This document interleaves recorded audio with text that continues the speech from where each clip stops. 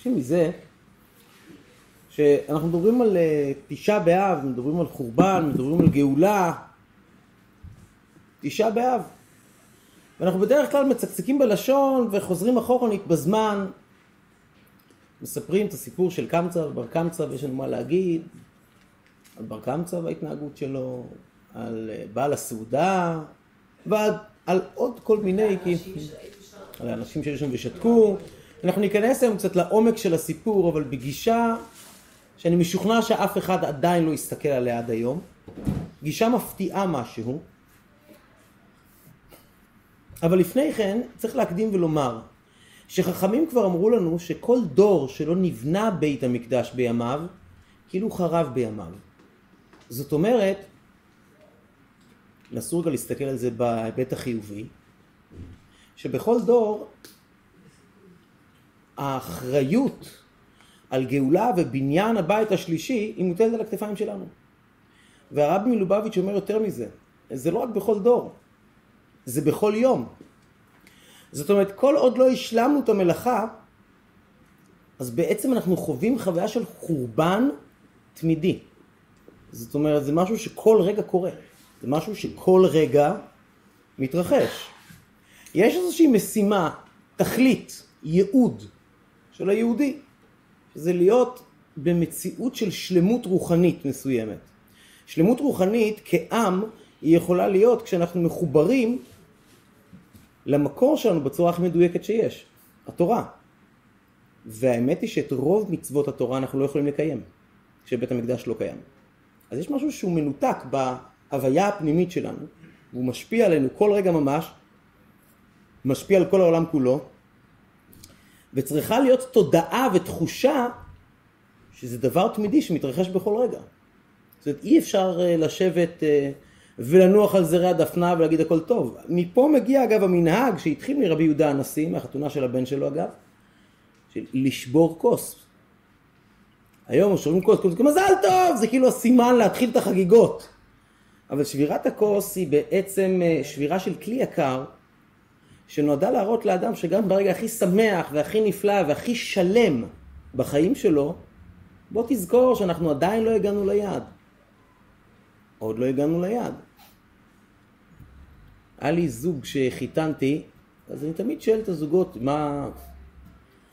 על מה הם רוצים, רוצים להזכיר משהו מיוחד, לפעמים רוצים להזכיר איזה סבתא שהלכה לעולמה, לא עלינו וכולי. ו... והיה זוג שחיתן לפני כמה שנים, והחתן ביקש שרגע לפני שאני אזכיר את גלעד שליט, שהיה אז עדיין אה, בשבי. שאלתי אותו, אמרתי לו, יפה, מה, יש איזה קשר? הוא אומר, מה זאת אומרת יש איזה קשר? בוודאי שיש קשר.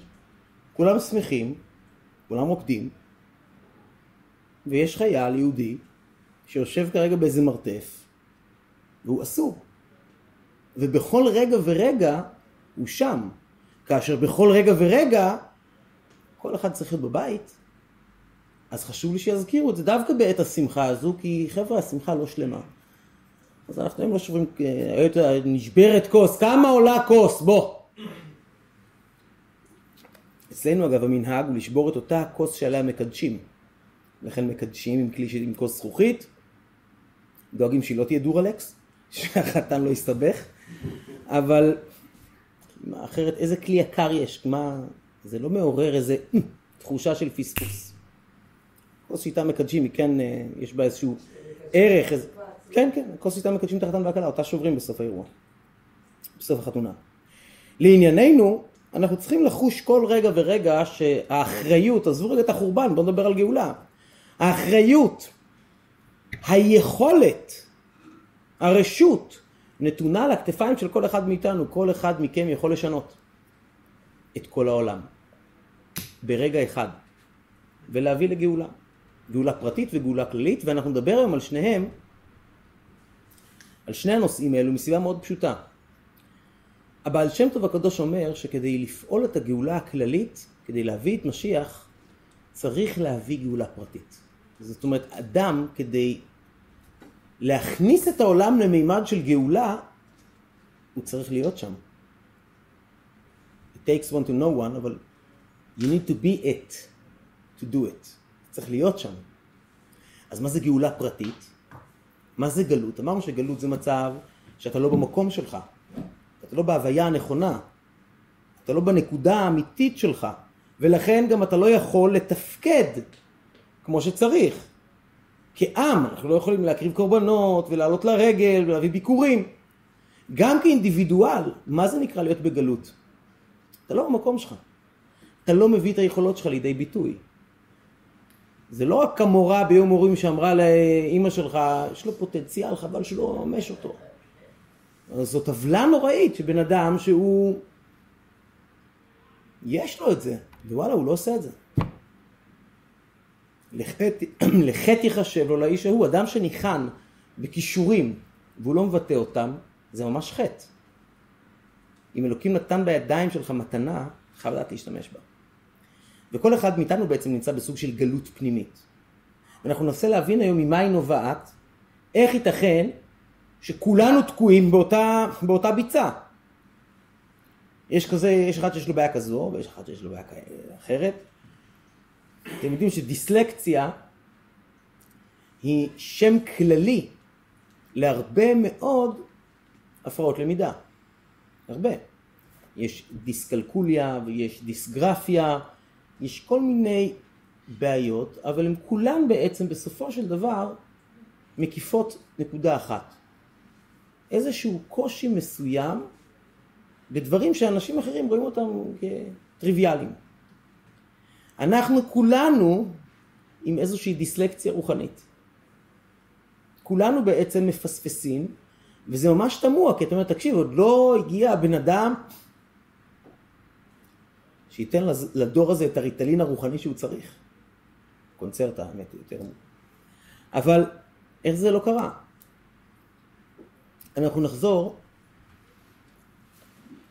כאלפיים שנה אחורנית ונראה סיפור שממנו מתחיל חורבן הבית והסיפור הזה בעצם מתרחש כל יום כי כל דור שלו נבנה בית המקדש בימיו כאילו חרב בימיו אז בתוך הסיפור הזה עד כמה שהוא נראה סתם אתה יודע איזה שרשרת אירועים שהתרחשה לפני הרבה מאוד שנים עם כמה אנשים ספציפיים מסתבר שהסיפור הזה הוא לא רק סיפור, הוא גם ביופסיה. ולא רק ביופסיה של הדור ההוא, אלא הוא גם מה שבעצם קורה אצלי בחיים כל יום. סיפור מפורסם וידוע, קמצא ובר קמצא, אתם בטח מכירים, אבל כמו שאמרתי קודם, אנחנו נלמד אותו היום באופן שלא הרבה אנשים עצרו כדי להתעמק, כי לא הרבה אנשים מבינים שמפה הכל מתחיל, ופה הכל קרה, וזה ממשיך לקרות כל יום. הנה זה החורבן, ככה נחרבה ירושלים, וכל יום שהיא לא נבנית, אז כל הסיטואציה הזו בעצם מתרחשת עוד פעם, בחיים שלך, כל אחד ואחד מאיתנו צריך לשאול את עצמו איפה אני פה בתוך הסיפור. אז בואו נתחיל את הסיפור. הסיפור מופיע בגמרא, איזה מוזר, אה? שיעור במימן ממש, ואני יושב פה עם גמרא. זה מחזה שלא קורה בדרך כלל. מה? יש שיעורים שבהם אני רציני כזה וזה, ו... בממעל בדרך כלל אני בפרי סטייל כזה. דווקא פה הבאת לנו גמרא. ימים רציניים, תשעת הימים, אתם יודעים, טיפה... אפילו יהודה הבריז לנו. אה, אני יודע. יהודה הלך לנסות להזיז את אחוז החסימה, כדי שזהות תהיה... מי שיודע, יהודה הוא מפעילי זהות הנלהבים, אז הם מנסים עכשיו... אה? אה? יהודה, יהודה, לא עידו. עידו מנסה להזיז את אחוז החסימה כדי להיכנס הביתה, זה הכל. שאשתו לא תחסום אותו ובזה מסתיים הסיפור. אבל טוב. הסיפור מסופר על ידי רבי יוחנן. רבי יוחנן מביא את הסיפור של קמצא ובר קמצא, הסיפור של החורבן, הוא מביא אותו כביכול בתור אה, הסבר לפסוק שמופיע בספר משלי. בספר משלי כותב שלמה המלך, אשרי אדם מפחד תמיד ומקשה ליבו ייפול ברעה. ואז למי שואל את עצמו מה הכוונה, מה התכוון שלמה לומר, אשרי אדם מפחד תמיד ומקשה ליבו יפול ברעה, אז בואו אני אספר לכם, אני אספר לכם איך, אני אספר לכם מה זה אומר. וכך הוא אומר, על קמצא ובר קמצא נחרבה ירושלים. אני אחסוך מכם את הארמית ה... וממני את התרגום ונתרגם, ב... נקרא כבר מראש בלשון אה, המדוברת. על קמצא ובר קמצא נחרבה ירושלים. על תרנגול ותרנגולת נחרבה הר המלך. היה מקום שנקרא טור מלכה, הר המלך. זה היה כרך שגרו בו, אני חושב, מאות אלפי יהודים ממש. השקא דריספק על יתד של מרכבה חרבה העיר ביתר. גם סיפור מזעזע עם חורבנה של ביתר. כ-70 שנה אחרי חורבן בית שני. מאות אלפי הרוגים. והוא מתחיל מקמצא ובר קמצא, ובסיפור הזה בעיקר אנחנו נתמקד, לא על ביתר וטור מלכה, והוא מספר שהיה איש אחד בירושלים, דההוא גברא, לא יכולים להיגמל מה... לקרוא את זה בשפה אותנטית, אין מה לעשות. דההוא גברא, איש אחד, הגמרא לא מזכירה את השם שלו, אולי לטובתו האמת, דרחמי קמצא ובעל דבבי בר קמצא. רחמי אהובו, רחימו, אהבה. האהוב שלו, החבר שלו, קראו לו קמצא. והשונא שלו קראו לו בר קמצא. מה זה בר בארמית, דרך אגב?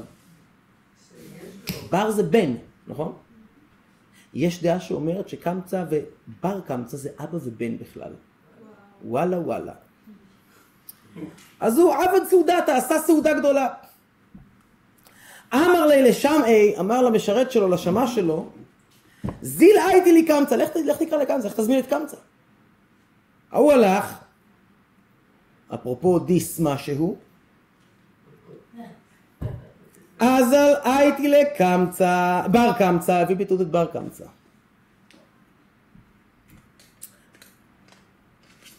מגיע, בעל הבית, ורואה את בר קמצא יושב לו בסעודה. אה, איזה הפתעה לא נעימה. הוא אומר לבר קמצא, והוא אומר לו את זה בגוף שלישי. הוא לא פותח איתו ישר ב...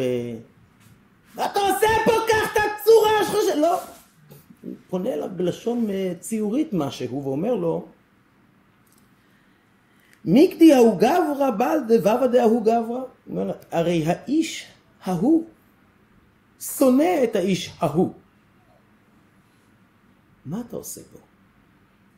קום ותלך. מה אומר לו בר קמצא? מצב חכות לקינוח? לא. הוא אומר לו, תשמע, הואיל ושווקה, הואיל ואתה, מכיוון שאני כבר כאן,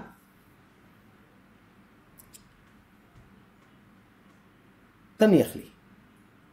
הואיל ואתה שווקן, תניח לי. ויהיבנה לך דמי מה דאכלינה ושתינה. אני, אל, אל, אל, אל, ליד כולם פה. בוא, לא בא לך עכשיו אה, סבסד לי את הסעודה. מה שאכלתי, מה שתיתי, אני שם צ'ק. מכסה את המנה. וואלה, לא בא לו. אני לא צריך שתכסה את המנה שלך, אני פשוט לא רוצה את הפרצוף שלך. קח את הצורה שלך, תוציא אותה מכאן. אומר לו, אתה יודע מה? אני משלם לך חצי מכל העלות. למה הוא לא התחיל בשליש ברבע?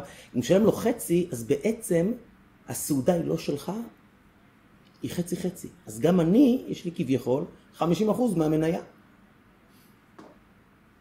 הצעה נדיבה. הכבוד שלך, אתה בראש השולחן, חצי אני. עשינו בשותף, אז כולה אני פה. לא רוצה. לא רוצה. קום תלך. הוא בא אליו עם הצעה יותר uh, מעניינת. אני אשלם את כל הסעודה. תשמע, כל האיבנט עליי. יוצא הפוך, שאתה אורח שלי. איך? רק תן לי לשבת כאן. תקשיב, זה חתיכת פטנט, אתה מבין? תזמין מישהו, אתה עושה חתונה באבניו, תזמורת, עניינים, הבאת עומר אדם, אתה אומר למישהו תלך מפה, הוא אומר לך תקשיב אני משלם לך את כל האירוע, תחטוף! איפה ברקן זה כשצריך אותו, תאמין לי, אני מזמין אותו עכשיו לכל אירוע, אתה יודע מה זה? הוא לא אומר את זה, אבל זה מה שמשהו. הוא אומר לו לא, וכנראה נגמר לו מהמשא ומתן הזה, אז הוא תופס אותו ביד, מקים אותו ומוציא אותו החוצה. בעל הסעודה.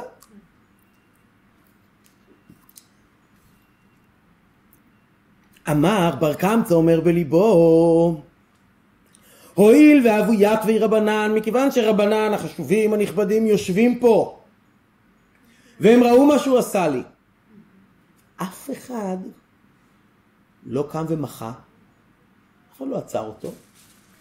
שמע מיני מה אני לומד מפה? דני חלאו שהם מסכימים איתו שטוב להם זורמים עם ההתנהגות הזאת אם כך, אני אלך למלך ואני אלשין עליהם. אני אנקום לא בבן אדם אחד, אני אתנקם בכולם. אתה יודע, בן אדם מרגיש פתאום כאילו פגוע מהמערכת, אז זהו, עכשיו הוא הולך לשרוף את כל המדינה. גמרנו. שהכל יישרף. אז הוא הולך לקיסר. הוא אומר לקיסר, תשמע, היהודים מורדים בך. הוא אומר לו, מה, תוכיח? מי אמר? אז הוא אומר, אתה יודע מה, תשמע, תנסה אותם. שלח להם קורבן, ותראה אם הם מקריבים אותו או לא. תרגיל. להפתעת חלקנו, אין שום בעיה להקריב קורבן של נוכרי. כי ביתי בית תפילה יקרא לכל העמים. כל מי שרוצה להביא קורבן לבית המקדש, להודות להשם אלוקי ישראל, מוזמן. תפדל. תביא קורבן כשר, הכל טוב. מותר, מכובד. אז הקיסר שולח כמו שקיסר שולח. שולח עגלה משולשת, שולח משהו מאוד מאוד uh, יקר ואיכותי. מזל שהמורה לא פה, הייתה טוענת שצריכה להביא קורבן מטופו. אולי היה פותר לנו את כל הבעיה. הביא להם קורבן סויה. אבל לא הביא להם עגלה. בקיצור, הרי בר קמצא יודע בדיוק מה הוא מתכנן, ולכן הוא הולך בדרך ומטיל מום בקורבן. מום קטן קטן, שבמכס הרומי לא שמים אליו לב. מקום, ככה כותבת הגמרא, שלגבינו זה נקרא מום, אצלם זה לא נקרא מום בכלל. הוא עושה נקב קטן בשפה. ויש אומרים נקב קטן בעפעף העין של העגלה. הוא מרמז על עיניים שראו ופה ששתק, והוא מביא את הקורבן לבית המקדש בשם הקיסר. עכשיו, אתם יודעים כמה זמן בודקים קורבן לפני הקרבה שלו? כמה זמן לוקח להעביר טסט לאוטו? כמה זמן בודקים קורבן? שלושה ימים. שלושה ימים מרימים על הליפט, פותחים, פה, בודקים, הכל. שלושה ימים. וכמובן שמיד שמים לב, לא עובר טסט. העגלה המשולשת נכשלה. מה עושים עכשיו? קלטו מיד במדובר. הבינו שיש פה מישהו תופר לנו תיק. מישהו תופר לנו תיק. הולכים לרבי זכריה בן אבקולס. הוא היה הכהן, אחרי המשמרת, הוא היה אחמ"ש. והם אומרים לו, תשמע, ככה כתוב, סבור רבנן לקרובי, משום שלום מלכות. סברו החכמים להקריב. למה להקריב? תשמע, למנות תקרית דיפלומטית, צבאית, מדינית, לא נעים בכלל. תקריב, בוא נעצום עין, אין מה לעשות. עזוב. תגיד לי, אתה, אתה, אתה, אתה עובד במכון טסטים. שרה נתניהו שולחת את האוטו שלה, אתה מכשיל את האוטו? השתגעת, אתה דפוק, אתה נורמלי? אתה יודע מה הולך לקרות לך? אוטו עם גלגל אחד אתה מעביר, הכל בסדר, הכל בסדר, הכל בסדר, הכל בסדר. הכל בסדר. אתה בלחץ נוראי עכשיו. לאן רואים מה מקריבים? רגע, אנחנו נענה על זה עוד מעט. רבי זכר בן אבקולס לא רואה בעיניים. הוא הולך by the book. הוא אומר, אני לא מקריב. למה? אני לא אתן שילמדו ממני תקדים, יאמרו שיקרבו בעלי מומין למזבח, ילמדו שאפשר להקריב בעל מום על המזבח? בשום פנים ואופן, חבר'ה. הלו. אף אחד לא מעל החוק. אז באו עם עצה אחרת. שמעתם על כיפה אדומה, דיברנו עליה לא מזמן, נכון? אבל עזבו את הסיפור של אה, אגדת הילדים. שמעתם על כיפה אדומה בימינו? מה זה כיפה אדומה? אתם לא יודעים מה הביטוי כיפה אדומה? אה? אין פה אף אחד מלוד, רמלה, משהו? נקמה? אפשר היה לה- לנו כיפה אדומה זה לוקחים מישהו. ומעלימים אותו. סברו, אמרו, רבנה, אתה יודע מה? אז בואו נחסל את בר קמצא. שהוא לא ילך וילשין, שלא הקרבנו את הקורבן. אה. גמור אותו, נו.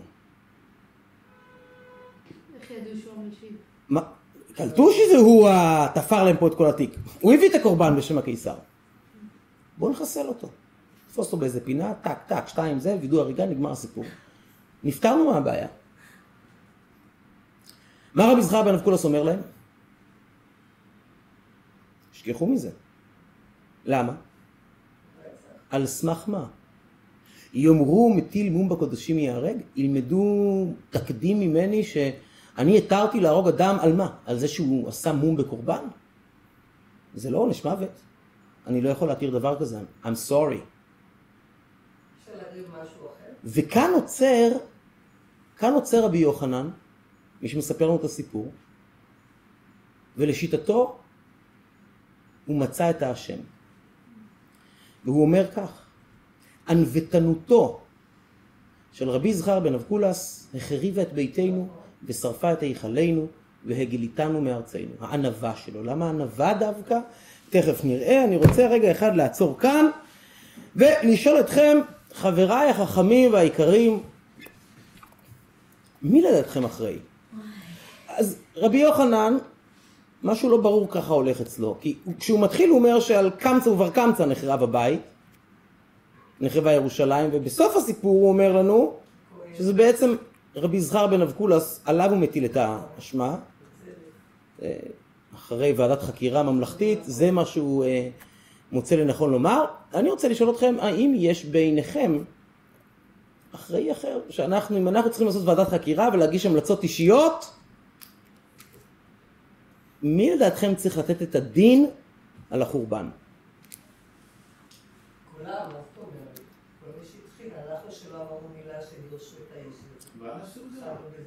בעל הסעודה. הוא התחיל את כל הסיפור, זאת אומרת. מה אתה... אוקיי, בעל הסעודה. עוד מישהו? עוד משהו? עוד רעיון? בר קמצא. בר קמצא. תנמקי, פרטי נמקי והסבירי. הוא סיבך אותנו. זאת אומרת, הוא אמר בעל הסעודה, את אומרת, עזוב רגע, בעל הסעודה, בעל הסעודה, אבל בוא. מה? זרקו אותך ממועדון, אתה שורף את כל המדינה? מה? אז כולנו אשמים בגללו? שאלה טובה. הלאה, יש עוד... אה, אבל יש לי שאלה. רגע, רגע, לפני שאלה, אני רוצה קודם כל טק טק. אם רבי זכריה היה בסעודה, השאלה אם היה מגיב או לא. לא יודעים? לא יודעים אם הוא היה בסעודה או לא.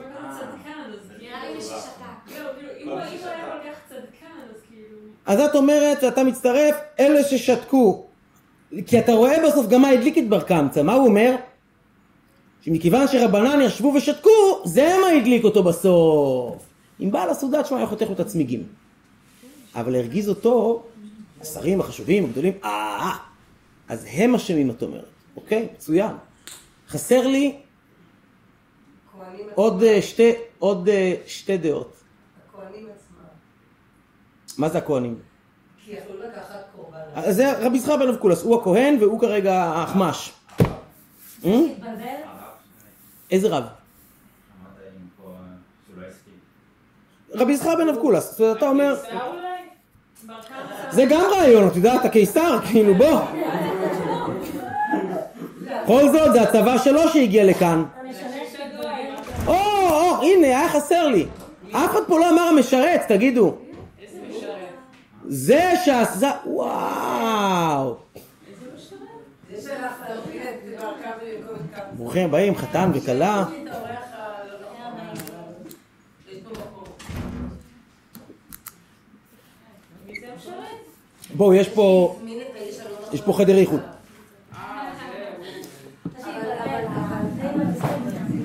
רגע, שנייה, היא אומרת, היא אומרת, תשמע,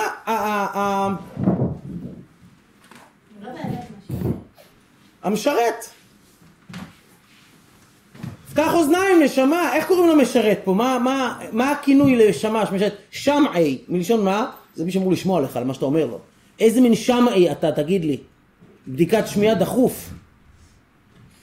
קמת, איפה שמעת פה בר למען השם? מה הוא אמר? הוא אמר קמצא או בר קמצא? קמצא או בר? הראשון שנמצא. אני לא חוזר עכשיו את כל הדרך לשאול אותו שוב.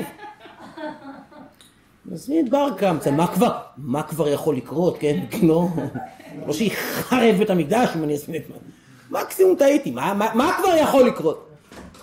אז גם משרת שיהיה בריא, וואי. חסר לי מישהו אחד, אחרון, שאף אחד לא הזכיר אותו. קשה לתפוס. כי הזכרנו נראה לי את כל מי שהשתתף בסיפור, נכון? חלקכן אמרתם בר קמצא, אמרתם רבי זכריה בן אבקולס הכהן, אמרתם רבנן, אמרתם אה, בעל הסעודה, אמרתם המשרת, זה בעצם כל מי שהשתתף בסיפור, חוץ מאחד שאף אחד לא הזכיר, כי הוא לא לגמרי משתתף. הוא. זה אני גם בעד, שייקח אחריות וגם יגלה אחריות ו... הוא אני בכלל חושב ש... עוד מעט נגיע גם אליו, הוא. עוד מעט נגיע גם אליו, אל תדאגו. אה, כל עוד אתה לא אומר העגלה, אז אנחנו בסדר. אה, לא, אני, חסר לי מישהו, שרבי יוחנן הזכיר אותו. קמצא? יפה. ולמה? על מה ולמה? אז אני צריך לשאול את רבי יוחנן, למה הוא מתחיל ואומר על קמצא ובר קמצא נחרבה ירושלים, כש... מה קמצא עשה? הוא היה צריך להגיד על בר קמצא ובא לסעודה, ובכלל אמרנו שבסוף הוא בכלל אומר שרבי יזכר בן אבקולס הוא האשם. מה על ק... מה, מה קמצא עשה למישהו? מסכן, הבן אדם תקוע בבית, לא הזמינו אותו. לא שלו. יפה מאוד. אז יש כאן הסברים לכמה כיוונים. דבר ראשון, לפי הדעה שאומרת שקמצא הוא בר קמצא, זה אבא ובן שלו, אז דבר ראשון, תגיד לי, אתה... הבן שלך והחבר הכי טוב שלך שונאים אחד את השני ברמות חורבן, ואתה כאילו זורם. ואפילו לדעה שזה לא אב ובנו, אז אה, אביה התחתנה לפני כמה זמן? כמה זמן עבר? חודש. חודש? שעה טובה ומוצלחת. עכשיו, אני מכיר את המשפחה של הכלה 15 שנה. חברים טובים, ברוך השם. לא חיכיתי להזמנה. כאילו, יזמינו, לא יזמינו אותי אישית. אני רק הייתי צריך לדעת במקיף, כאילו, יום ושעה. אני אחכה להזמנה? לא. למה? מה זאת אומרת? חבר שלי כמו אח גדול מחתן את הבת שלו. אני לא רוצה להישמע קשיש מדי ולהגיד אני זוכר אותה ככה, זה... אה, אה, ברור שאני אגיע. ואתם יודעים מה? אם לא הייתי מקבל הזמנה, ואני גם לא יודע יום ושעה ואולם, התבלבלתי קצת באולם שם, זה כמה אולמות אחד אחרי השני, אני נכנס ואומר, או, לא, לא פה. אה, אני נכנסתי לאיזה חתונה ליטאית בהתחלה, אני אומר, לא, לא, לא, לא. אבל גם אם אף אחד לא היה מודיע לי יום שעה, הייתי מרים טלפון. ואומר, אליהו, אבא של הכלה, תגיד, מה נסגר? מה, אני אחכה עוד הרבה להזמנה? מה, שכחת ממני? נכון? ואז מה היה אומר בעל הסעודה לקמצא? למה אתה מלכלך? שלחתי אליך אישית שאתה משרת להזמין אותך. אמר לי שנתן לך את ההזמנה. וואלה, בככה שבאור שאני רואה לא היה פה בן אדם. תגיד, אתה מסתלבט? שמעי, בוא, בוא רגע. אני עם קמצא על הקו, אומר, לא הגעת. קמצא? לא אמרת לי בר קמצא? אומר, תגיד, בהכרה? מה בר... הזמנת בר קמצא? תקשיב טוב, לפני שבלאגנים, למה אני אומר לך, אם הוא יגיע, יהיה בלאגן. אני לא יודע איך זה ייגמר אם הוא יגיע. יחרב העולם, אני לא נותן לו לאכול אצלי, תרתי משמע. לך תגיד לו שלא יבוא. אז גם קמצא יש לו פה אחריות. ולמה הלכתי כביכול כל כך רחוק? כי לפני שאני אתן את התשובה, אני רוצה לשאול אתכם עוד שאלה. באמת, בגלל אירוע נקודתי לא נעים, נחרבה ירושלים? הגמרא בהמשך, אחרי הסיפור על טור מלכה, ואחרי הסיפור, על- אחרי ממש כל הסיפור החורבן,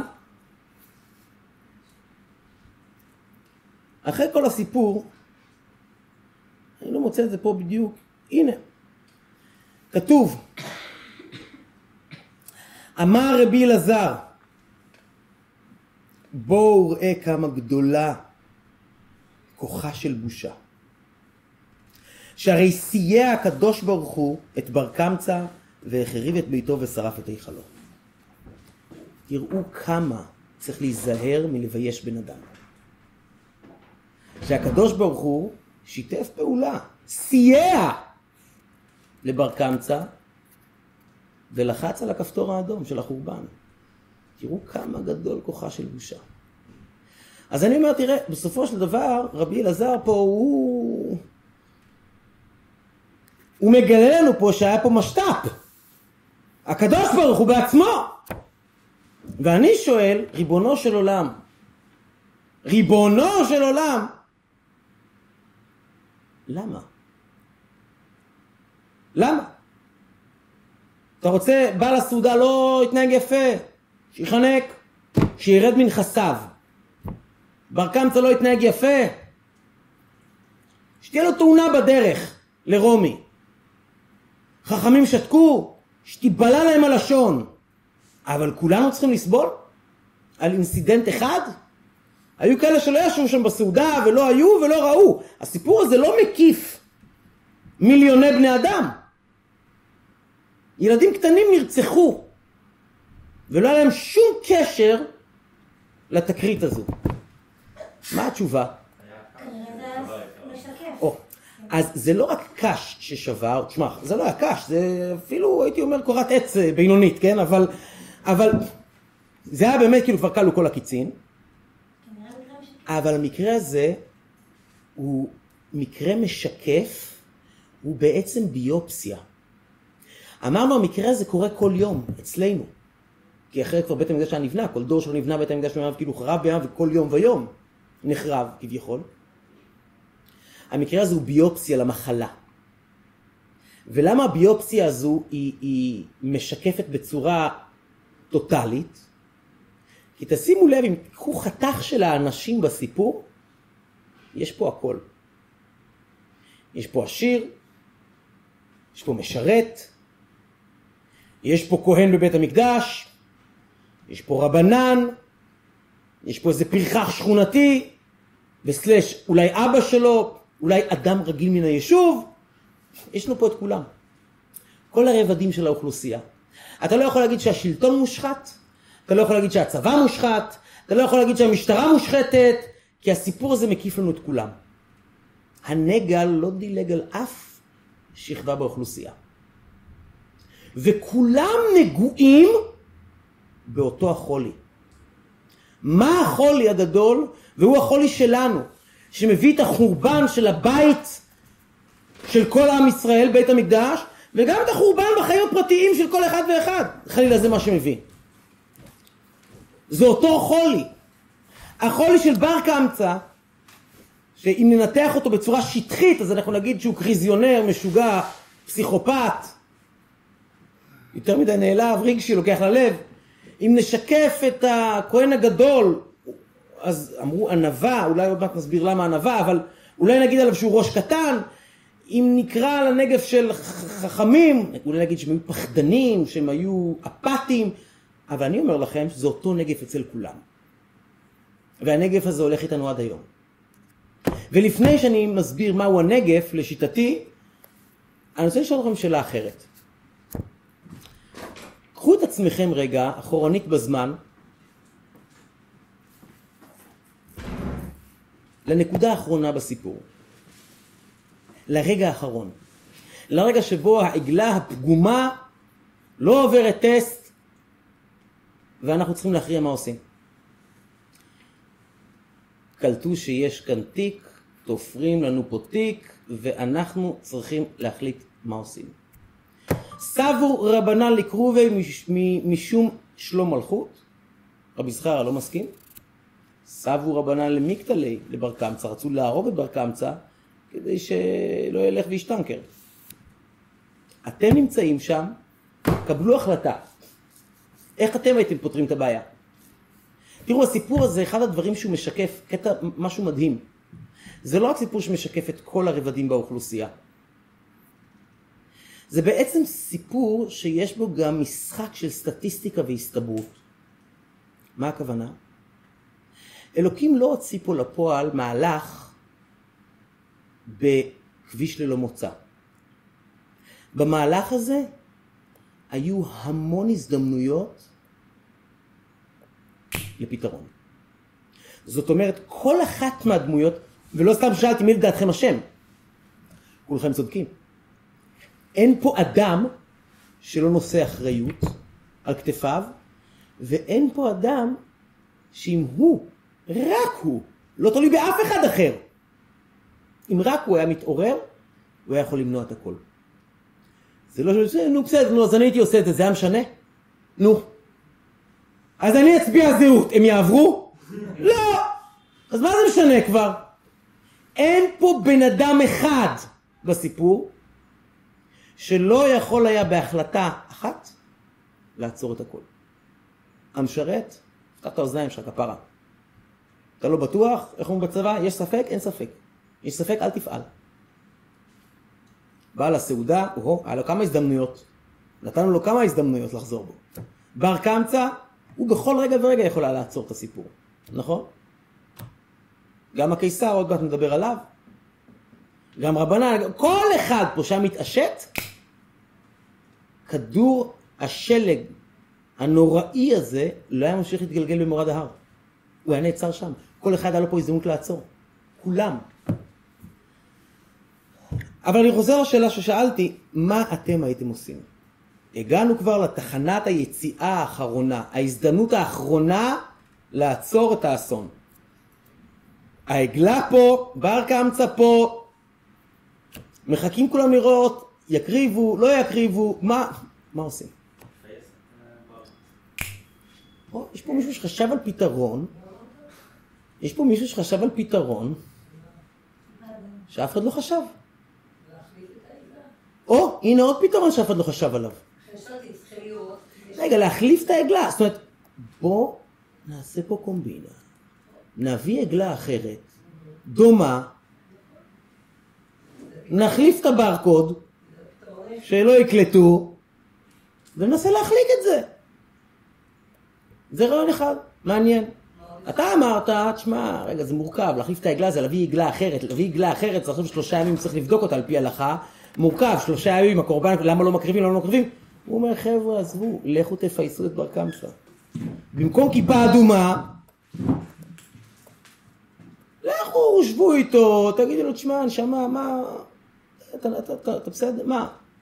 בוא, בוא נפתח שולחן, תן לו כוסית לחיים, תן לו בקבוק בלו לייבל. סגור איתו את הפינה יפה. אגב, אתה באת בקטע פייסני ונחמד, אני אומר, תשמע, אם לא לרצוח אותו, אי אפשר להביא לו ארבעה גרוזינים גדולים שידברו איתו גרוזינית גדולה? ביג'ו, ביג'ו לא הולך לקיסר, ברור. יעקמו לו קצת את האצבעות, יסבירו לו קצת, לא, את יודעת, רק לדבר. בוא, רק רוצים לדבר איתך, בוא, רד, רד. רק רוצה לדבר איתך, רד רגע, רד, רד. זהו, טל תמום בקורבן, בוא נראה לך מה זה חורביים. בוא, בוא, רגע, בוא, בוא, בוא. מי הולך לקיסר? מי, מי? בוא, בוא. מה הבעיה? מה הבעיה להוציא צו מעצר מינהלי? נכון? יש פה עורכי דין. לא? פה סוכני שב"כ? לא, משקפי שמש זה קצת חשוד פשוט. סוכני שב"כ. יש פה, חוץ מעידו, מישהו שישב במעצר מנהלי? לא. כמה זמן אפשר להושיב, כמה זמן אפשר להושיב בן אדם במעצר מנהלי? תכלס, כמה זמן שרוצים. כמה זמן שרוצים. כמה זמן שרוצים. מעצר מנהלי. אפשר למנוע ממנו מפגש עם עורך דין. קחו את בר קמצא, זרקו אותו לאיזה צינוק, מעצר מנהלי, עד שמישהו יתעורר להגיש בג"ץ, עזוב. אולי הקיסר יעבור לו. גם על זה אף אחד לא חשב. זה קטע. תנו לי עוד פתרונות. תנסו להפעיל את הראש. עוד פתרונות. תחשבו על הסיפור, על מה נגרר מהסיפור, ותנו לי עוד פתרונות, אתם אנשים חכמים. ללכת אולי עם עוד איזשהו כהן גדול, או איזה כהן, איזה רב, אי אפשר עוד דעה פה? אה, תראי, רבי זכריה הוא האחמ"ש כרגע, אבל אם את רוצה לעשות עקיפת סמכות, גם אופציה. לא מקריב, לא מקריב. אני רוצה לדבר עם הממונה עליך, אני רוצה לדבר עם הממונה עליך. זה גם, גם רעיון. יפה. את את. יפה. גם אפשרות. חוות דעת שנייה. כן. תנו לי עוד אפשרויות. זה כבר אמרנו, לפייס, אמרנו, יש עוד אופציות פה. יש פה עוד כמה אופציות נהדרות אפילו. אתה מדבר על הסוף. כן. כן. למה לא למנוע את ההתחלה? לא לחכות אה, כי אנחנו עכשיו עומדים רגע בנקודת הסוף, ומה שאנחנו נגיד עכשיו, אנחנו נבין מה הנגף של כולם בסיפור, ושל כולנו עד היום. תודה רבה, ל... יפה מאוד. שלחו משלחת לרומי. מה הבעיה? איזה פרחח אחד הולך לקיסר, מוציא עלינו שם רע, שלחו אתם משלחת. אבל זה גם. שלחו משלחת לקיסר, תגידו לו, אדוני הקיסר, תשמע. יש פה בן אדם, מנסה להעיר לנו עלילה. חלילה לנו מלמרוד בך. ודרך אגב, הקורבן שהוא הביא היה הימום.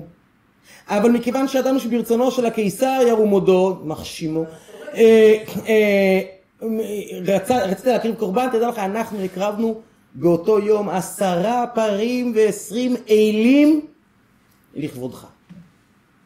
ועכשיו מדי חודש בחודשו נקריב לזכותך קורבן. מה הקיסר היה אומר? תביא את הבר קמצא הזה, אני ממנו עכשיו קוביות, קוביות, חתיכות, חתיכות. נכון? למה על זה לא חשבו?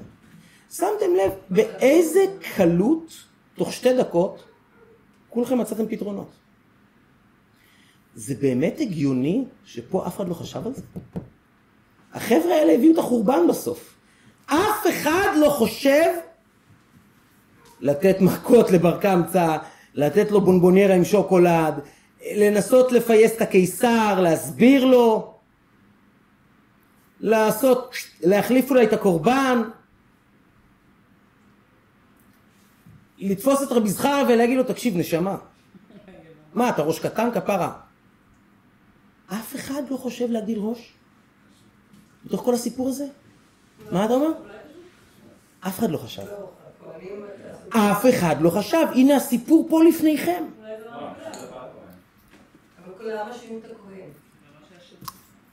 תקשיבו לי טוב. אף אחד לא מגדיל ראש, ואני אשאל אתכם עוד שאלה, וממנה נמשיך. למה שתי הדעות שרבנן מביאים לרבי זכריה כל כך, כל כך הפוכות, בצורה קיצונית? סברתם הראשונה הייתה, נקריב את זה ככה, עזוב, כן קורבן, לא קורבן, כן כשר, לא כשר, אל תסתבך, תקריב ככה וגמרנו. אז הגישה הראשונה היא גישה מאוד מאוד פשרנית. מאוד פשרנית. ויתור טוטאלי על העקרונות למען השקט והשלום. יונת סחורה. ממש. זה כאילו שמאלה ממרץ. לא לא. הדעה השנייה היא כאילו, היא ימינה מבן גביר. מה הבעיה? גמור אותו, מה? גמור אותו! גמור אותו! זה אותם אנשים. בכל... אז היה ליברמן. בכל, בכל, לא, ליברמן סתם מדבר. אם ליברמן היה שם כנראה זה גם לא היה קורה. למה? לא, הוא היה מדבר, מדבר, מדבר, מדבר, לא היו זזים לשום מקום, גם הקיסר היה נרדם בינתיים. חי, זה הכל בצחוק, לא עושה לשון הרע לאף אחד, אני מקווה, לא? בקיצור, בכל הספקטרום הזה, בין לחסל בן אדם לבין לוותר על העקרונות היהודיים שלנו, איך לא מצאו שום דבר בטווח? או קיצוניות ימינה או קיצוניות שמאלה? למה? מה משותף לשתי הפתרונות האלו? הם שונים לחלוטין, אבל מה משותף ביניהם? זה לא אגו, לוותר ולהקריב קורבן אימון זה ממש לא אגו. ההפך, זה מחיקת האגו. אבל למה? למה? מה משותף בשני הפתרונות האלו?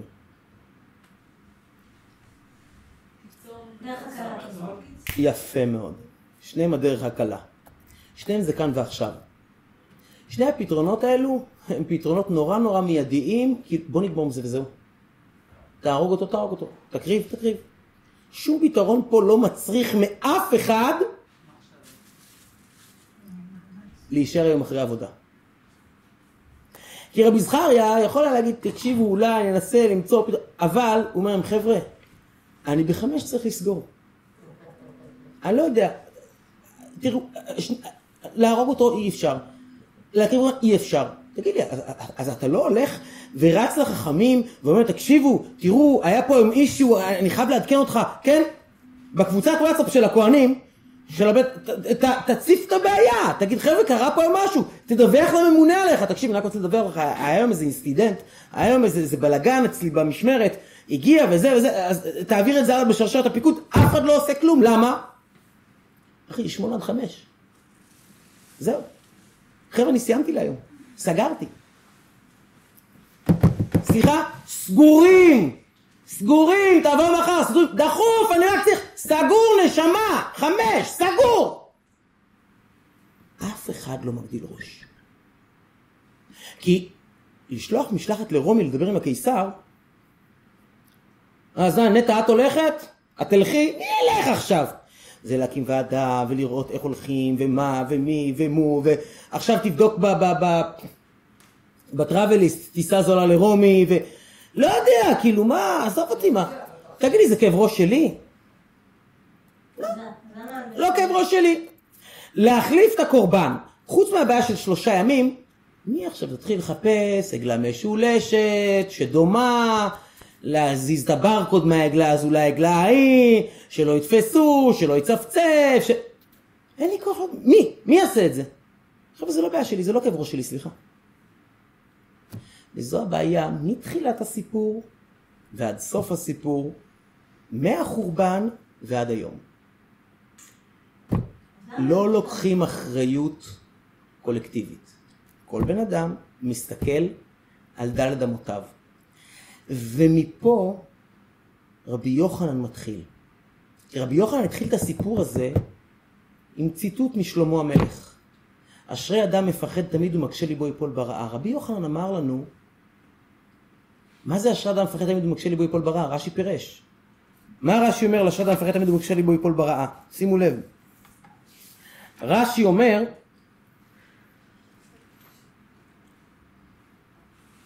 איפה הרש"י פה? הנה. אשרי אדם מפחד תמיד, רש"י אומר, דואג לראות הנולד, שלא תארע תקלה בכך אם אעשה זאת. לפני שאתה עושה משהו, לפני שאתה מזיז מהלך, תחשוב כמה צעדים קדימה. תחשוב כמה וכמה צעדים קדימה, מה יכולות להיות תוצאות המעשים שלך. ואני אגיד לכם משהו, יש אנשים שעושים מעשה ומוכנים לשאת בתוצאות שלו. יש. יש מצב שבן אדם עובר איזושהי עבירה ואומר, אתה יודע מה, אם יתפסו אותי, בסדר, שלם על זה את המחיר, אין מה לעשות. בן אדם ממהר נורא לפגישה, ממהר, ממהר, ממהר, וואלה, הוא נוסע במהירות מופרמה לעשות, הוא לא יכול לפספס את הפגישה הזאת, מדובר פה בהון תועפות. אז הוא נוסע מהר, תפסו אותו, תפסו אותו, ישלם, ישלם. בסיפור הזה, אם מישהו מהנוכחים היה מודע לתוצאות של המעשים שלו, והיה מתנהג אחרת. אפילו בר קמצא. אפילו בר קמצא שניסה להעיר עלינו את הדוב הנורא, אם הוא היה רואה איך באמת נראה החורבן, אם הוא היה יודע שגם הדודה שלו וגם האחיין שלו וגם הסבתא של אחותו, שהיא גם במקרה סבתא שלו כנראה, אם הוא היה רואה אותם נשחטים על ידי הליגיון הרומי, הוא לא היה מתנהג ככה. אבל אף אחד לא חושב מעבר לרגשי הכאן ועכשיו שלו. כולם חיים את הכאן ועכשיו. אמרנו שעכשיו זה אותיות כעשו, נכון? עכשיו, עכשיו אני רוצה לאכול, עכשיו, עכשיו, עכשיו, אה, אני אמכור לך את הבכורה, אני אמכור לך את הסף, מה שאתה רוצה. הולך למות, תן לי עכשיו לאכול. מי החריב את בית המקדש דרך אגב? צאצאי עשו, כן, אדום. כל אחד רואה רק את הכאן ועכשיו שלו, כל אחד רואה רק את המטר וחצי שלו, זה רואה את הפגיעה שלו, זה רואה שלא מתאים לו שהוא יושב פה, ההוא רואה, מצטער, לא, שמונה עד חמש, אני סוגר, אה, אני הולך, הוא רואה רק שמונה עד חמש שלו, לא מצאנו לי פתרון, אני לא מקריב, אני לא יודע, אף אחד לא מגדיל ראש ולוקח אחריות קולקטיבית. וזה הסיפור של החורבן. אבל, יש לי הפתעה קטנה. יש לי הפתעה קטנה. למה ענוותנותו של רבי זכריה? כי מה זה ענווה? זו הייתה ענווה של שקר מה שנקרא, זו ענווה, פגומה. למה ענווה פגומה? זה לא ענווה של שקר, זו ענווה אמיתית, אבל פגומה. למה? כי הוא לא מחזיק מעצמו כזה גדול. הוא לא מחזיק מעצמו כזה חשוב. הוא לא מחזיק מההחלטות שלו כל כך משמעותיות. ופה הטעות. כי אם היית יודע כמה אחריות יש על הכתפיים שלך בתור אחמ"ש בבית המקדש, היית מגדיל ראש. היית מבין שכרגע נדרש ממך הגדלת ראש. וכן, כרגע אתה המפקד בשטח. ואיך אמר רפול עליו השלום? שמבחינתו, כשהוא שולח חייל לשדה הקרב, אז החייל הזה כרגע הוא הרמטכ"ל. הוא הרמטכ"ל. וכל החלטה שהוא יקבל בשטח, תחת אש, אני מאחוריו, והוא צריך לדעת את זה. כרגע הוא הרמטכ"ל. אנחנו יכולים לשבת ולנתח מה הם עשו, למה הם עשו, איך הם עשו, זה היה ירי מוצדק, ירי לא מוצדק. אתם מקבלים את ההחלטות באולפן ממוזג, עם כל הזמן שבעולם, ועם יועץ תקשורת שלוחש לכם באוזן. החייל ההוא היה צריך לקבל החלטה תחת אש, בשטח אויב, עם הפצצות מלמעלה ופצמ"רים מכל הכיוונים. כרגע כל חייל הוא רמטכ"ל. ומה שהוא מקבל באותו רגע כהחלטה, אנחנו חייבים לעמוד מאחוריו. רבי זכריה לא רואה את עצמו ככזה, וזו הטעות שלו. הוא היה צריך להגדיל ראש ולקבל אחריות, ולכן אגב, מכיוון שהוא האחרון בשרשרת, אגב, במרוץ שליחים, את מי שמים אחרון? את הכי מהיר, את הכי מוצלח. אמרנו שהקדוש ברוך הוא נתן פה תחנות יציאה בסיפור הזה לכל אחת מהדמויות. המשרת, בעל הסעודה, קמצא, ברקה, כל אחד יכולה לפתור. אלוקים אמר, תקשיבו, אחרון אחרון החביב תשימו את רבי זכריה בן אבקולס. כי אם אף אחד לא יצליח לפתור, אם אף אחד לא יתעורר ויתעשת, ממנו אני מצפה. הוא בכל זאת, יש לו תפקיד, בכל זאת עובד ציבור, אחריות, גם הוא פספס. גם הוא פספס. יש אחד שלא פספס, זה כבר לא עזר. אבל יש פה אחד שממנו אנחנו צריכים ללמוד. וזה דווקא שר הצבא של רומי, שקראו לו נירון. והקיסר שלח את נירון להחריב את ירושלים. Mm. אגב, גם הקיסר, יימח שמו, גם הוא לא לקה באותה מגפה. אתה בהינף אצבע, כאילו קונה איזה סיפור של איזה פושטק, ועל זה אתה מחריב כאילו עיר שלמה. תגיד לי, האימפריה הרומית, אין לכם מודיעין?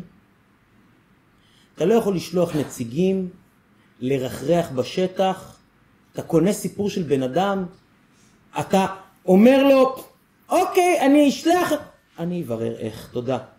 לא עגלה ולא עגלה. אתה אומר שהיהודים מורדים בי, שב פה, אנחנו נבדוק את זה. אם שיקרת, אתה גמור, כן? אנחנו נבדוק. נשלח לשם משלחת, נשלח חפרפרת, נצטט להם לטלפונים. משהו. לא, גם הוא... מה? אסור? תהרוג אותם. הלאה, נקסט. סיפור הבא. חוץ מבן אדם אחד. הבן אדם הזה הוא נירון, שר צבא רומי. אותו הקיסר שלח להחריב את ירושלים. והוא מגיע והיה לו איזשהו טקס מיסטי כזה שהוא היה עושה כדי לבדוק האם זה הלאקי דיי שלו או אם לא כדאי היום אה, להתחיל מכות. הוא היה עומד מול העיר שאותה הוא רוצה לכבוש, לוקח חץ בקשת ויורה חץ. אם החץ היה מוסט, לא עובד טוב, לא נתפס, הוא היה קולט שלא הולך לו היום. אז הוא יורה חץ לכיוון ירושלים. והחץ, טס פיקס, פפק, ונוחת לי בירושלים. אז הוא אומר, אה, יש מצב. הגנה אין להם. יש מצב. אבל הוא לא מסיים בזה. הוא גם רוצה לבדוק האם יהיה לו אקסטרה קל. אז הוא מסתובב עם הגב לירושלים ויורה חץ לכיוון ההפוך. כדי לראות מה יקרה. הוא יורה חץ לכיוון ההפוך והחץ עושה סיבוב פרסה. החץ עושה יוטרן ונוחת לירושלים.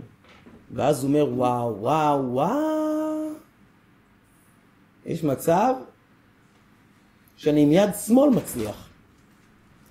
ואז הוא יורה חץ לכל אחת מדלת רוחות השמיים.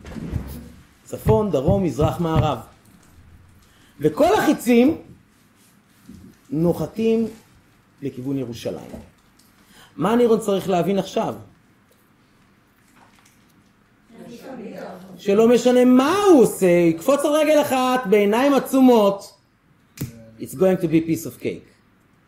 אבל הוא לא מתנהג ככה. משהו מריח לו פה לא טוב.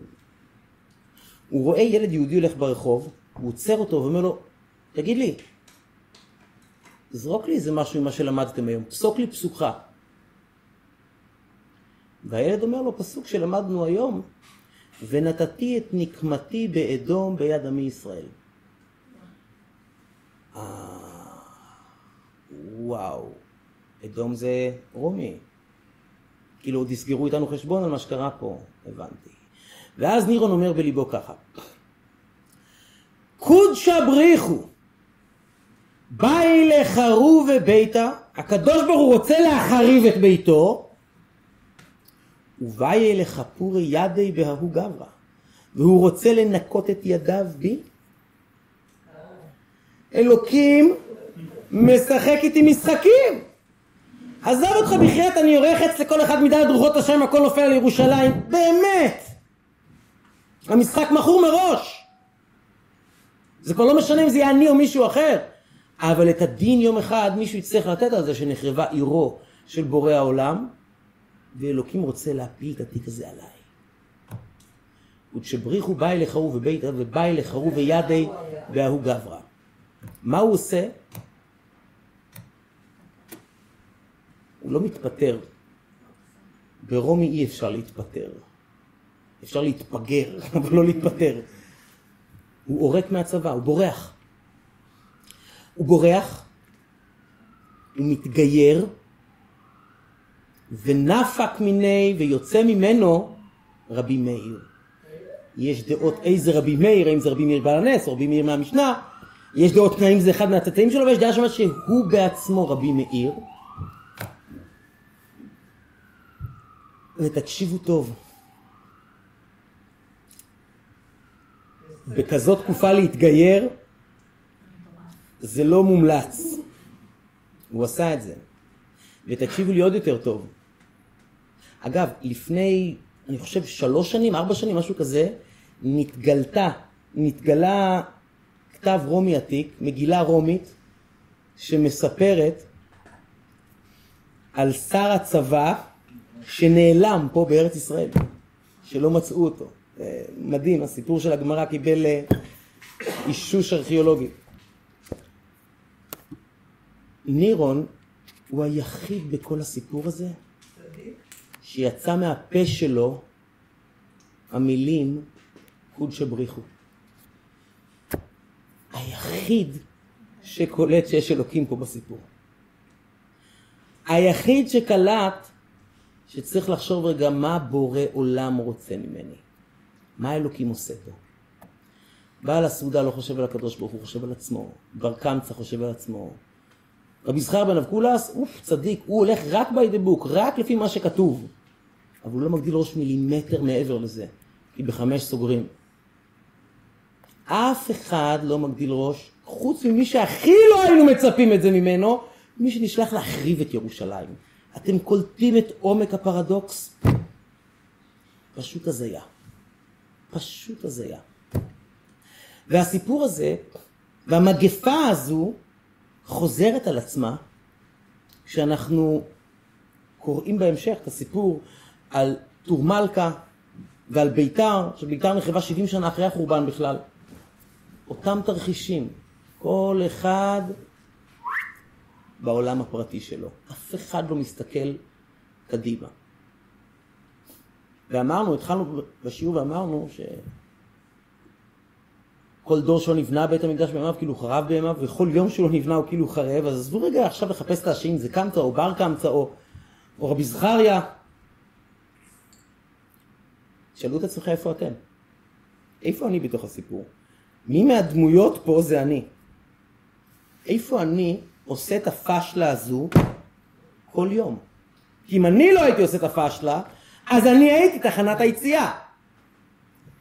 אולי אתה המשרת, אולי אתה הכהן, אולי אתה הגביר, אני לא יודע מי אתה, אבל תקשיב טוב, אתה חלק מהסיפור הזה. ואם אתה מתעורר עכשיו, תופס את עצמך, ייבנה בית המקדש. זהו. אתה תבנה את הגאולה הפרטית שלך. אתה תביא את הגאולה הפרטית שלך וממנה את הגאולה הכללית של כל ישראל. בידיים של כל אחד מאיתנו.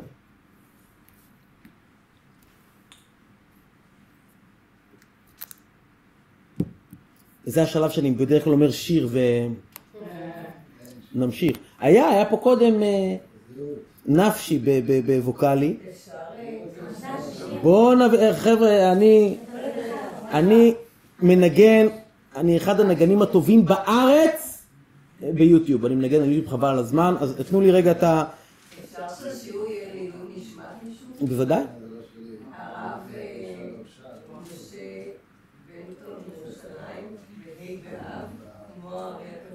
או-אה. הרב המזוזות. כן.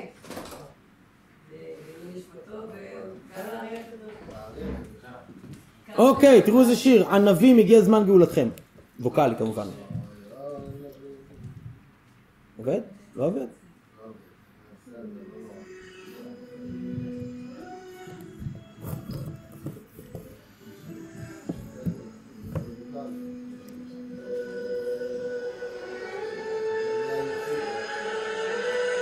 צריך ווקאלי.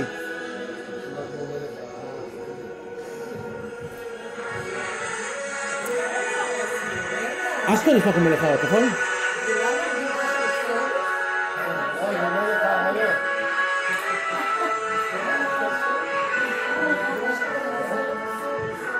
לא הייתי על האקסודוס, אני לא זוכר.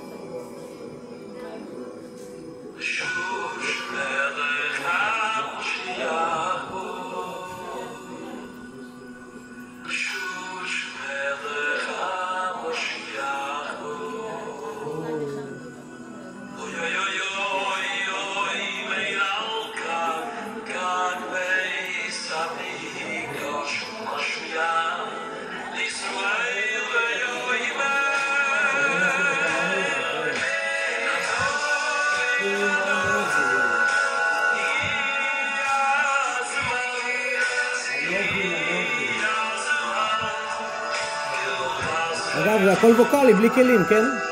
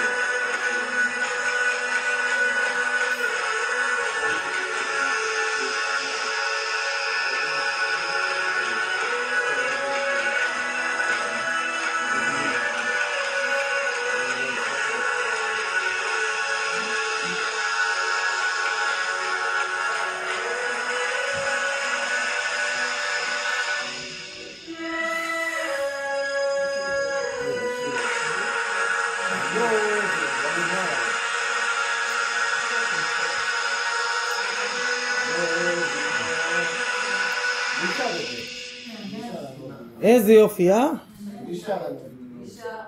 אה, מי שר את זה? אה, לא יודע.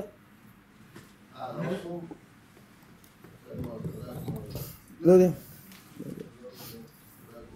מקסים. אה,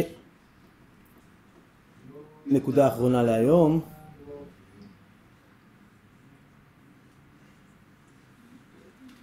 הגיע הזמן. אוקיי. נקודה אחרונה. אמרנו שבעצם כל, ה, כל החורבן, כל שנה ושנה, כל יום ויום, כל דור ודור, טמון בסיפור הזה. אני אגיד לכם משהו, זה טמון עוד הרבה לפני. הסיפור הזה הוא חורבן בית שני. חורבן בית ראשון גם היה בתשעה באב. בית ראשון נחרב בגלל שפיכות להם גילוי יראות עבודה זרה, בית שני בגלל שנאת חינם, אבל אם שניהם קרו בדיוק באותו תאריך, כנראה יש קשר. והאמת היא שהיה עוד משהו בתשעה באב.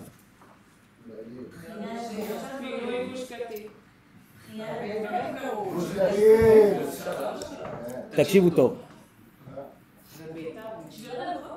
תשעה באב הראשון, חבר'ה, תשעה באב הראשון המקורי זה חטא המרגלים. זה היום שנגזר על אבותינו לא להיכנס לארץ.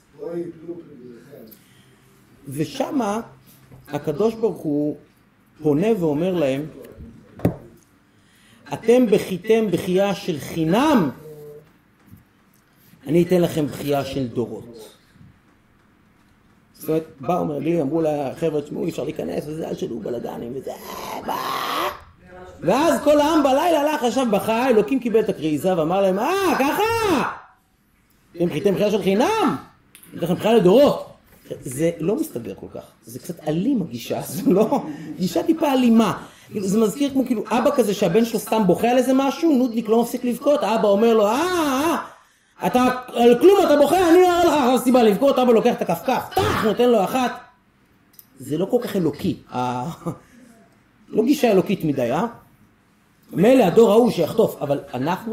לדורות? ואתה רואה שאלוקים בעצם אומר, כל הזמן אלוקים כאילו מוציא מהארון את התשעה באב, וכל פעם שצריכים להיכנס בנו, עכשיו, אז זה שהם לא רצו להיכנס לארץ, עכשיו תכניס להם את זה. חורבן בית ראשון, חורבן בית שני, גירוש ספרד, 1492, היה בתשעה באב, גירוש פורטוגל, כמאה שנה אחר כך, תשעה באב, גירוש גוש קטיף, תשעה באב. הפרצוף בבוקר כשאתה קם לא מי יודע מה, פרצוף תשעה באב, זה הכל חוזר כל הזמן לתאריך הזה. ואלוקים אומר, למה? כי אתם סתם בכיתם. מה זאת אומרת? חייאת. עכשיו האמת היא שזה, יש פה הסבר מאוד מאוד עמוק וארוך, לא ניכנס אליו עכשיו, אבל ברעיון, ברעיון, כשאלוקים כתב פעם ראשונה בלוח שנה שלו, כשאלוקים מקיף בעיגול פעם ראשונה בלוח שנת תשעה באב, מה היו התוכניות שלו לאותו יום? הוא לא תכנן לצום באותו יום. הוא תכנן יום שמח. למה אלוקים תכנן את תשעה באב כיום שמח? כי מה היה אמור להיות לפי התוכנית האלוקית בתשעה באב? היידה! יבואו מרגלים יגידו חבר'ה! אין כמו בורא עולם! איזה ארץ פרגן לנו! וואי, אתם נגנבים! אנשים אומרים, תקשיב, מה, אבל אין שם? ענקים, שמע ענקים, עזוב אותך, מה? ואין אה, פקקים? פקקים, פקקים, נעשה רכבת קלה, אל תדאג. לחות וזה, יש מזגנים, חבר'ה נכנסים, אתם לא מבינים איזה יופי. אין ארץ כזאת. ואז מה אמור להיות בתשעה באב בלילה? אחרי שמרגלים חזרו, תשעה באב בלילה, כולם הולכים לישון עם הבשורה הזו של איזה אחלה ארץ, היה חגיגות. היו קופצים למזרקה בכיכר מלכי ישראל, כן. היידה מכבי. אנשים היו עפים על הצאן, זה היה אמור להיות יום של על האש והתוועדויות חסידיות וחינגות וריקודים, מוזיקה, בלאגנים. אטרף של שמחה, זו הייתה התוכנית של הקדוש ברוך הוא. אלוקים תכנן את תשעה באב כאחלה יום שבעולם. יום של אהבה. כמה השם אוהב אותנו, איזה ארץ סבבה. אוי, במקום זה מה עשינו? הלכנו לבכות. בחייה של חינם. על סתם בכיתם, טמבלים, על סתם. על סתם!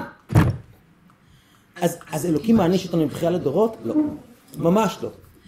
אלוקים עושה איתנו פה חסד נפלא. אלוקים שם לנו את כל הנאחס של החיים בתשעה באב כדי להזכיר לנו שזה הכל בדיוק כמו התשעה באב הראשון. סתם. זה סתם. אתה סתם באת לעבודה עם פרצוף תשעה באב. זה לחינם. תתעורר, תפוס את עצמך רגע, תאמין טיפה, הכל טוב. כשאתם שומעים שעל תרנגול ותרנגולת נרצחו מאות אלפי יהודים, תגידו לי, זה לא סתם? זה לא סתם? על איזה פקקטה סעודה נחרב בית המקדש. על זה שאף אחד לא לו טיפה שכל כמו שלכם יש. תחליפו את הקורבן, תדברו עם הקיסר, תעלימו את זה, ת... על זה נחרבה ירושלים. תגידו לי, זה לא סתם? לגמרי סתם. אז לא באים לזרות לנו מלך על הפצעים ולהגיד לנו, תאמין לי, על כלום. על כלום הלך לך האוטו. על כלום. על... לא, ממש לא. באים להגיד לך על כלום, אתה תקוע עכשיו בגלות. תתעורר מהכלום הזה. הבכייה לדורות, תעצרו אותה עכשיו. בידיים של כל אחד מאיתנו לעצור את הבכייה לדורות הזו, כאן ועכשיו. תתעורר לחיים שלך. הכל טוב, נשמה. הכל טוב. והשנה בתשעה באב זה קורה תכלס. תשעה באב חלה שנה בשבת. ואנחנו בתשעה באב חוזרים לתוכנית המקור. פותחים אחלה שולחן שבעולם. כן? אתה אומר, אצל אשכנזים, סלט חי, אצל עדות המזרח, חי סלטים. פותחים שולחן, בשר טוב, אה, טופו טוב, סויה טוב. אה, היא לא פה היום, אבל... בשר, הוא אבל טבעוני מסורתי, הוא לא חרדי אדוק. אה? אה, הוא גם אדוק?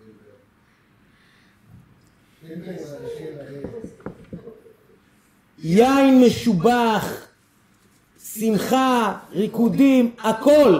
חוזרים לתוכנית המקור, וממנה, אם נעשה אותה נכון, אם נגדיל ראש, מוצאי שבת ממשיכים בעזרת השם. בהתוועדות חסידית גדולה בבית המקדש השלישי, משיח צדקנו. שיהיה לכולנו גאולה, גאולה, גאולה, גאולה, אמיתית ושלמה, וכמו ש... איך קוראים לך צדיק? עילום שם, כן? כמו ש... כמו שאילום שמביא לנו על החולצה שלו, חבר'ה, just do it. פשוט לכו על זה. זה אפשרי, פשוט לך על זה. זה אפשרי, כל אחד יכול, כל אחד בסיפור, אפילו אתה משרת קטן, פתח את האוזניים, תגדיל ראש, תבלע את העלבון שלך, לא קרה כלום. נכון, זרוק לו פצצת סירחון לחצר מחרתיים, לא נורא. אל תחריב את כל... כל אחד שיגדיל טיפה ראש, יחשוב טיפה, שניים שלושה צעדים קדימה. משהו יכול להסתבך אם אני אעשה את זה, תגיד. ובעזרת השם, נסתכל פנימה על החיים שלנו במבט חיובי, במבט של אמונה, במבט של שמחה, נפסיק להתבכיין על חינם, ונביא גאולה אמיתית ושלמה לכולנו. לילה טוב, תודה רבה, שיהיה בעזרת השם ימים שמחים.